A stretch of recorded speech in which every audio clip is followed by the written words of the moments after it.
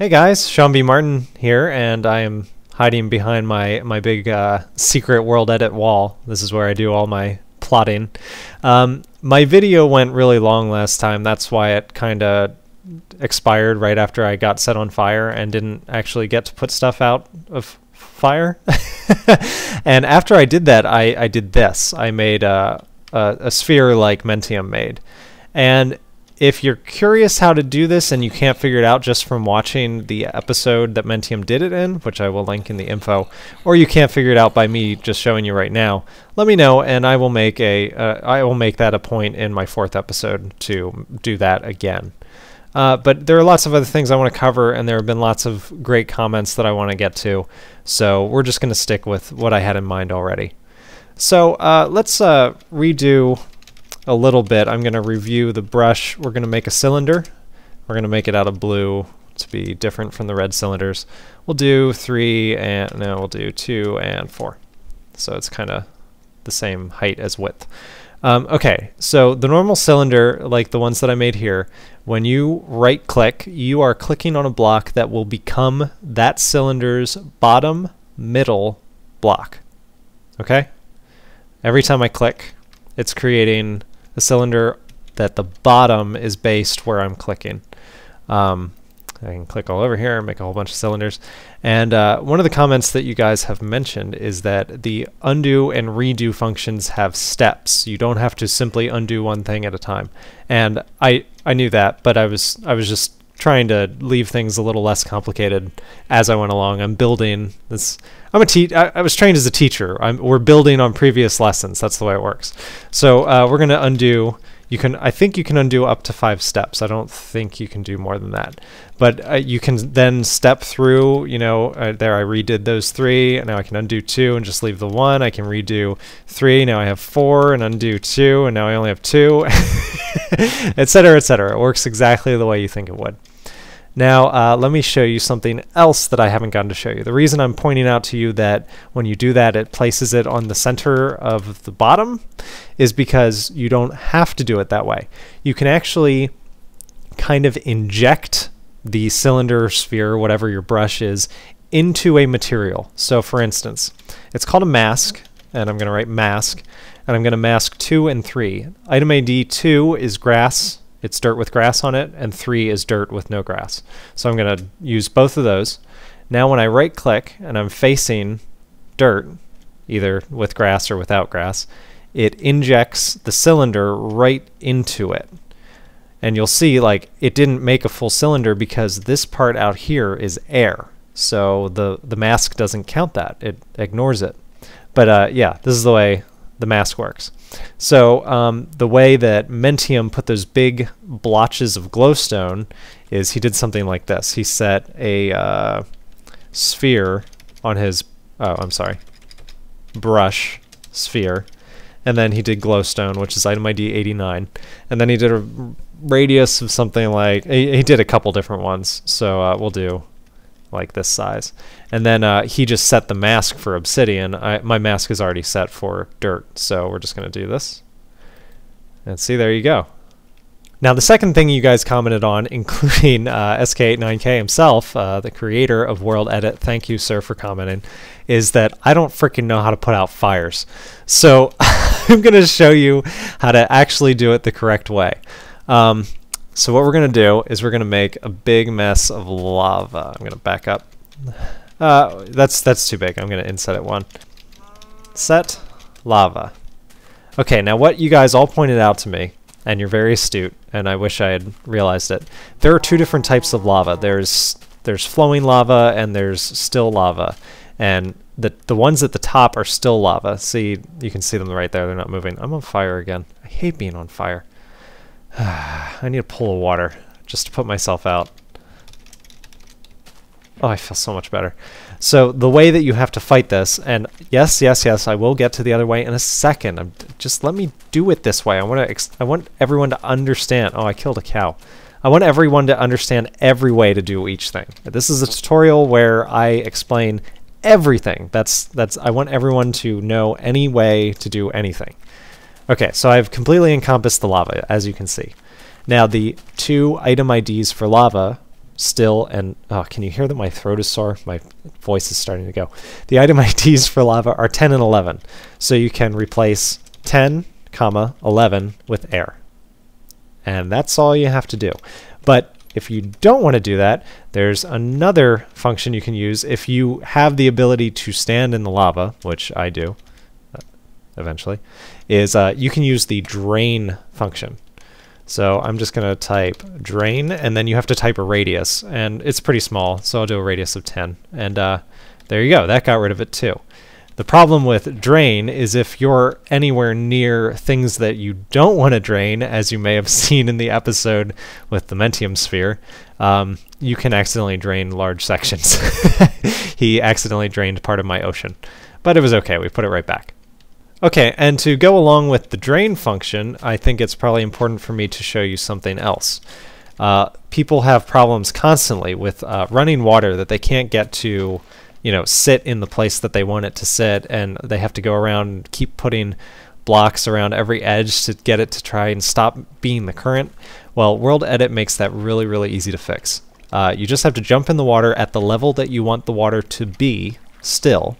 So I'm standing at it right now and then you type fix water and then a radius. Um, this is pretty small, so you only need a radius of a couple. But uh, yeah, fix water, uh, fix lava works exactly the same way. That is a very helpful tool. I use it all the time. Finally, last comment or tip that I was given, um, when you type multiple things that you want to be in a section, uh, like when I made the sphere of all the different materials and I made them add up to 100%, Someone pointed out to me that you don't have to do that. You can actually use uh, ratios, and it'll work exactly the same way. So I'm going to show you something I haven't shown you before. If you use the replace function and don't tell it what you want it to replace, it will replace anything that's not air. So right now I've got this huge section of mountain selected, and I'm going to replace, um, and I'm not going to say what I want it to replace, I'm just going to say what I want it to be filled with. And we're going to use that new trick of ratios instead of uh, adding up to 100. So for instance, I'm going to do 1 of black, comma, 1 of white, and 2 of red. Now the way I understand this should work, and this is the first time I'm trying it, so hopefully it does work, is that it'll be, it adds up to 4, so we're going to get a ratio of 2 out of 4 to red, 1 out of 4 is white, and 1 out of 4 is black. And there you go. It worked exactly the way it should. Okay, so that is a very helpful tip that was sent in by, wait, I'm finding you, Dare Claudius. Actually, Dare Claudius, you sent in a whole bunch of very helpful comments. I really appreciate it. Keep them coming. They're great. Okay, so uh, here are some other things that I wanted to cover for you guys. I still have not actually filled you in on all of the selection tools, so let's cover a few more. I'm going to run over there to be uh, away from my stuff and be a little bit safer. If you want to select the entire chunk that you're standing on, and a chunk is, ah, I want to say 32 by 32, I'm not positive right now. That's probably going to come back to bite me. Uh, we are going to do slash slash chunk, and uh, there you can see. Oh, I didn't. I've never tried it with this mod on, so you can see how many it is very easily. Let me count 1, 2, 3, 4, 5, 6, 7, 8, 9, 10, 11, 12, 13, 14, 15, 16. Okay, th that's why I wasn't ready to commit. It's 16 by 16. Um, now, this entire chunk, you can see, I, hopefully the encoder did a good job of showing you this. Um, you can see it goes all the way down to bedrock and the entire way up to the sky. Bedrock is level 0, sky is 128. So uh, if you select chunk, you can, I mean, you can manipulate the chunk however you want. Um, you can delete it. And uh, falling through this area at the bottom is bad news. Uh, you'll you'll glitch. Uh, I think you can fly back out of it. You can also use unstuck and you can use spawn, but yeah, you'll be stuck down there. Hello. I guess I found some caves. uh, we're gonna get out of here and undo. And then um, so that's how you can select a chunk easily. It'll just select the 16 by 16 chunk you're standing on. If you want to select a different area, not a chunk, but you still want it to go from bedrock to sky, uh, for instance, I selected that little 2 by 2 there, you can then type slash slash expand vert. And it didn't do it. Did it do it? Why didn't it show the change? Let's find out. Okay, well it definitely did it. Um, that's the first thing I've seen the mod fail at. It doesn't like expand vert for some reason. Well, it definitely works. Expand vert. There you go. Okay, I just checked my time for this video and I can't believe it, but we are already running close and there's something else I want to show you before we go. So I'm going to make a sand sphere on my brush. I don't know how to make it though. Brush, sphere, sphere, sand, 5. I wanted to say yes that it is raised. Why is that not working? Brush, sphere, 5 sand, yes? What is it asking me? Brush, sphere, sand, 5. Okay, well that works. Why? Okay, okay. Anyway, there we go. Okay, that that's what I didn't want them flat though. I wanted them standing on top. Okay, well it doesn't matter. I'm just gonna keep rolling with this. Um, what what I'm doing is I'm I'm making uh, a, a big. I'm, I'm gonna build up this mountain here. And I'm going to do that by adding a whole bunch of sand spheres, and you'll notice as I hit them every so often they'll fall a little bit. Ah, see? Da -da -da and uh, what you're going to do is you're going to fill it in until it looks kind of natural-ish. And then you're going to hit it with some air spheres. that sounds really silly and maybe a little bit dirty. You're going to hit it with some air sphere. Oh, oh no. Uh, I should not be clicking so fast. Okay, yeah, there we go. You're going to hit it with a brush uh, sphere, and you're going to make it out of air, and we'll do a little bit smaller. We'll, we'll do three. And you're going to knock out some chunks, uh, level it out a little bit, make it a little more random, get rid of those plateaus and the things sticking out of the side.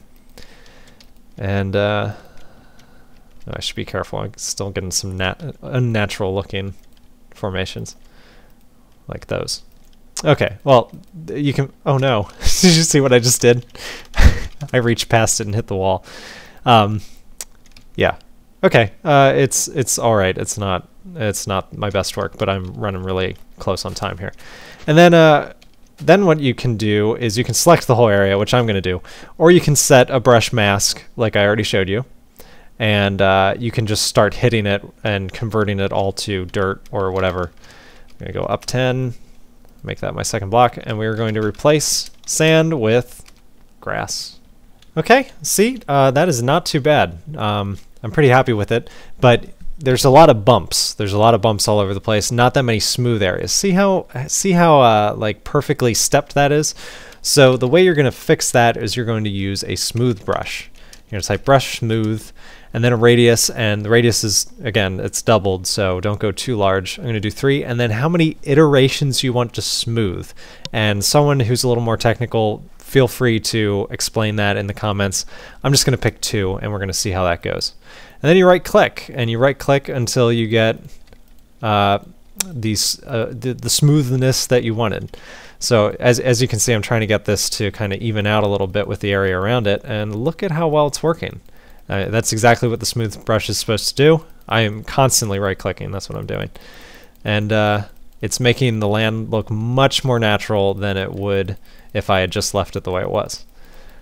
Pretty cool? Pretty cool. And uh, that does it for world editing with SVM part 3. Missed some sand. Whoops. I'll fix that later. That's the way I do it. Thanks for watching, guys. I'll see you next time.